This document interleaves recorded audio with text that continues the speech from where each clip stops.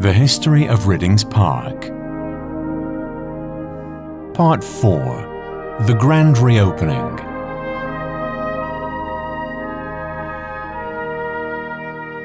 Following the £2 million renovations, Rhyddings Park was reopened on Sunday the 19th of May 2019 by the Worshipful Mayor of Hyndburn, Councillor June Harrison.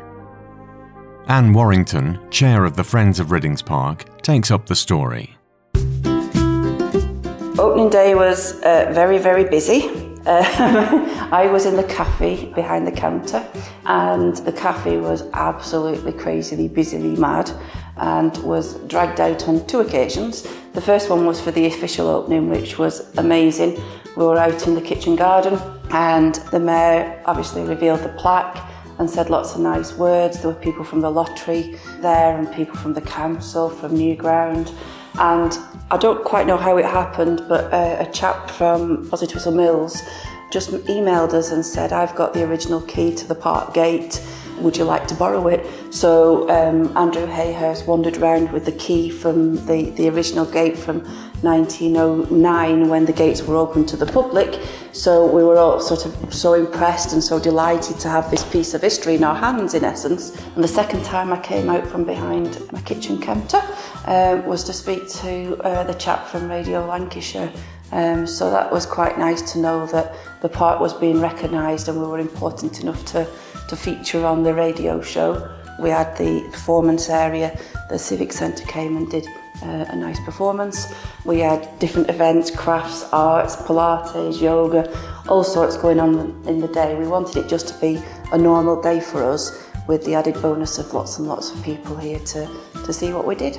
So as somebody who, who's local and, and used to see uh, lots of dog walkers in the park, but that was pretty much it. And if it was a nice sunny day, um, the park would be full of children. Now it feels much more of a community space. There's lots and lots of families. Um, there's lots of people that are very regular attenders, um, both to the garden and to the coach house.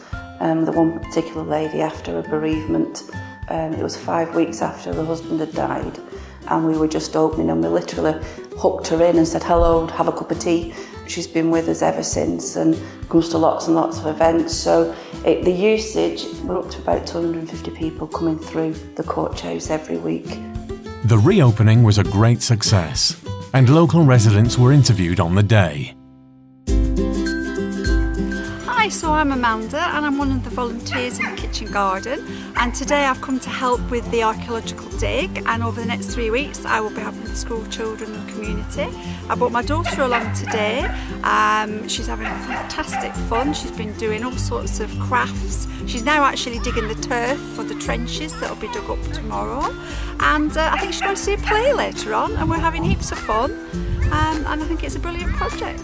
I'm Arthur Williams and I think this is tremendous and I think needs some more people coming in to volunteer but um, at the minute it's going very well.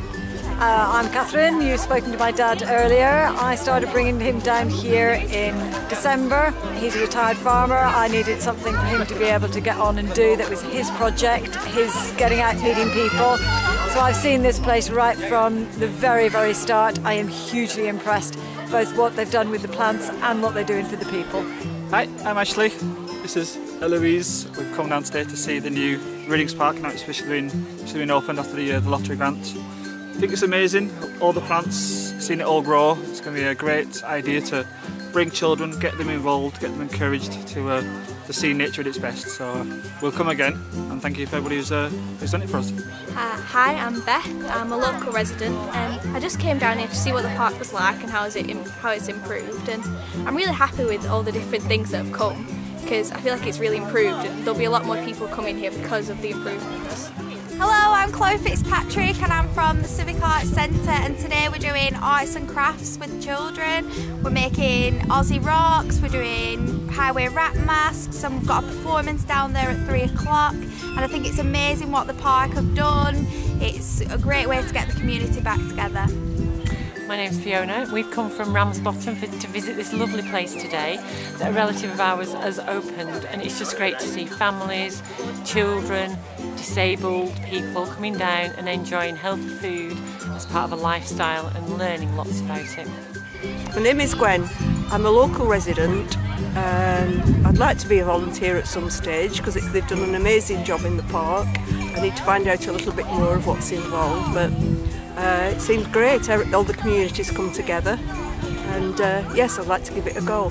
My name's John, we live just round the corner locally and we've come to have a look what's going on today. We're impressed with the flower beds because we've seen these on the television but it's usually down south somewhere. Never seems to come up north and we're really impressed with it. Hi, my name's Maddie and I'm with the Civic Arts Centre and Theatre. We've been painting lots of rocks and decorating masks and colouring in things for, with lots of children.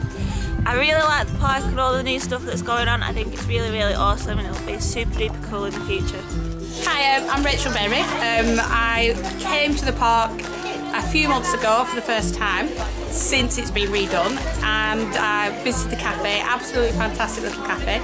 Um, prices are wonderful, food's great and the atmosphere is great. Um, I did used to come to the park before all the new new bits have been added and it was looking a little bit sorry for itself. We used to visit the little uh, bit with the, with the animals and when that, that went I was a little bit, oh, you know, things are changing but things have changed for the better and it's a wonderful little place now.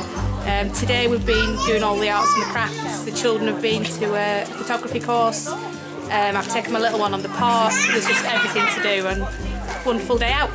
My name's Ruth, I come to the park regularly with my children and my dog. It's absolutely fantastic what they've done to the uh, new area. They're really enjoying ourselves, had lots of fun creating lots of crafty things, the kids are loving it. I'm Ryan Duxbury. Um, I live local to the park. Uh, I grew up around here and um, played in the park and it's, it's great to see what they've done. Watched the full process from, from the new buildings to the, all the planters and I, I, think we've just come for a walk around today and I think it's fantastic what everyone's done, all the volunteers and, and everybody, everybody's time that they've put in. It's great. They were joined by representatives from the various groups who had been involved in the renovations and the leader of Hyndburn Borough Council, Councillor Miles Parkinson. Today, the layout of the park still owes much to Robert Watson's house, which was situated behind the ornamental balustrade. The site of Rhyddings Hall is still clearly visible in the modern landscape as a raised grass-covered level platform, and the layout still bears a strong resemblance to the Ordnance Survey map of the area from 1851. The project has made a real and lasting difference to how the park is viewed and used by local people and will ensure that the changes can be maintained by creating new income sources to reinvest in the heritage of the park for years to come.